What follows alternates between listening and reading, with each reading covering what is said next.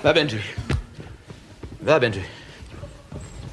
Ah, u had zich verstapt.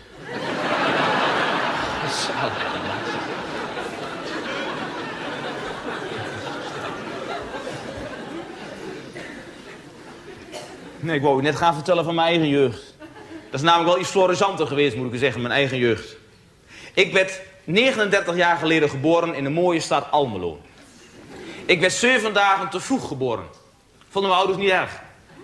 Nu, stel dat ik zeven dagen te laat was geboren. Die eerste week is juist zo leuk en die hadden ze dan moeten missen.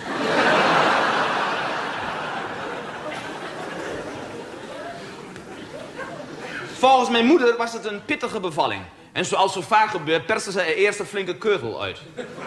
Daar hoeft u zich helemaal niet voor te schamen hoor, zei de vroegvrouw. Dat hoort allemaal bij een bevalling. En ze legde de keutel op de buik van mijn moeder.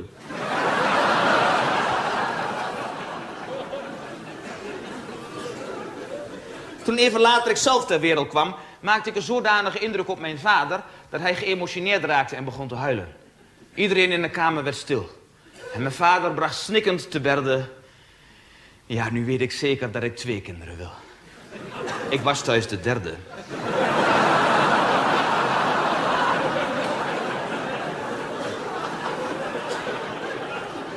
Ja, ik, ik moet zeggen dat mijn ouders weinig over mij te klagen hadden, hoor. Het e- enige dat mij viel aan te merken was, was dat ik nogal dromerig van aard was. Varieert dromerig. Ooit heb ik een keer een half uur aan een kapstok gehangen... omdat ik vergeten was mijn jas uit te trekken.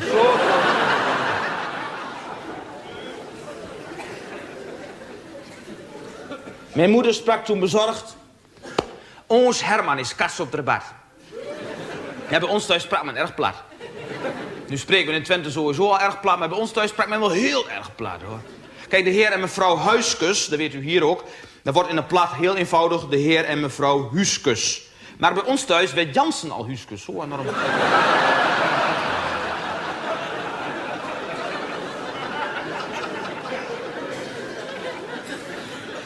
En in 1968, u weet wel 1968, toen Jan Huuskus de Tour de France won.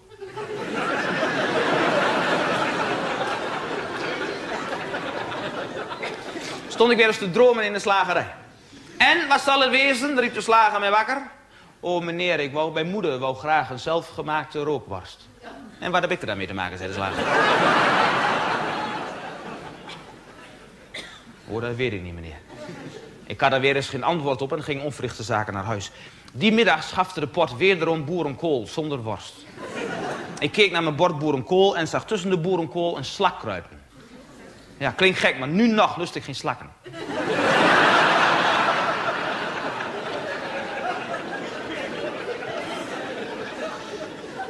Wat wil je later eigenlijk worden, jongen? Vroeg mijn moeder mij iedere ochtend. Ik wist het niet. Ik zei, moeder, hou, ik weet het echt niet. Hou nou maar een keer op. Ik heb toch geen idee wat ik later moet worden. Wist ik ook niet. Tot ik op ochtend mijn slaapkamergordijnen opendeed... en zag hoe de fanfare voorbij marcheerde. Toen ik de fanfare voorbij zag marcheren met al die mensen... en die schitterende kostuums, die blinkende instrumenten... en die prachtige muziek. Toen in één keer wist ik wat ik worden wilde later. Autoverkoper. Ja, schoot zo in één keer binnen. Dat ik daar nog niet eerder op gekomen ben. Zeg, autoverkoper. Dat is het. Tuurlijk.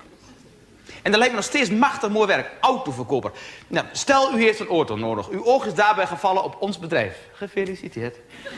Waarom gefeliciteerd? Omdat ons bedrijf beschikt over een enorm uitgebreid GTI-gebeuren.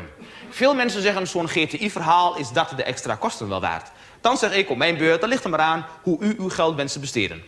Uit een onderzoek van de vereniging Eigen Huis bijvoorbeeld is gebleken dat veel huiseigenaren honderden, wat zeg ik, soms zelfs duizenden guldens uitgeven aan een dakgoot, terwijl ze er zelden of nooit in zitten.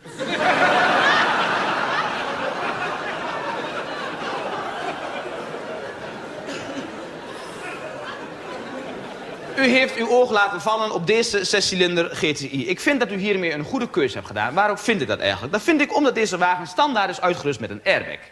Een airbag. Weet u, ethisch gezien is zo'n opblaasbare luchtkussen geplaatst in de stuur nog helemaal geen eenvoudig geval. Een zwager van mij bijvoorbeeld kocht ook een auto waar standaard zo'n luchtkussen was geplaatst.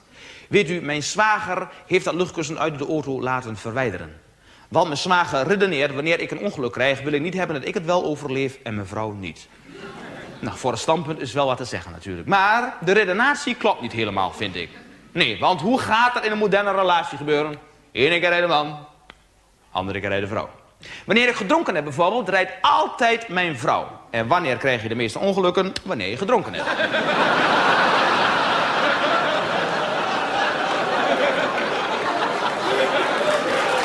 oh, niet nodig, niet nodig, niet nodig. Niet nodig, service van de zaak.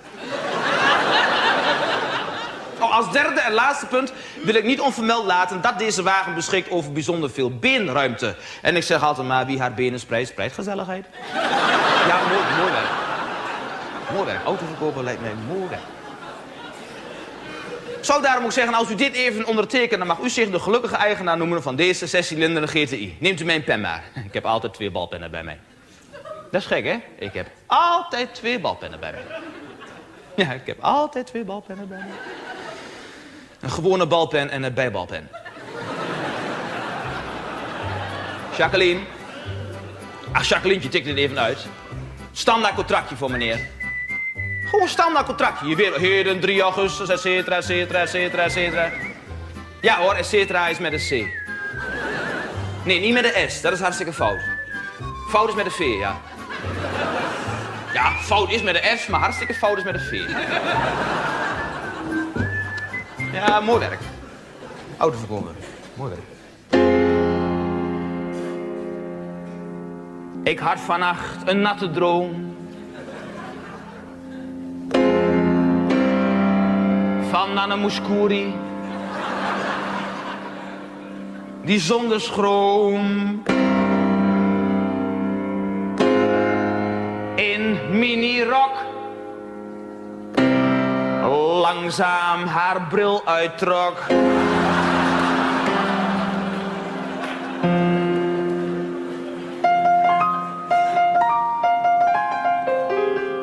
Ze keek me daarna glazig aan en opende haar mond.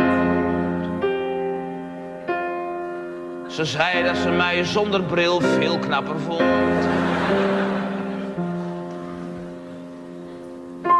Liefdesbrieven schreef ik haar, oh zoveel malen. Ik kreeg er ook nog één terug, ze wou de strafport niet betalen. Dus, tijd dat ik nuchter raak. Dat ik uit die droom ontwaak. Hoor eens hoe ik dapper roep.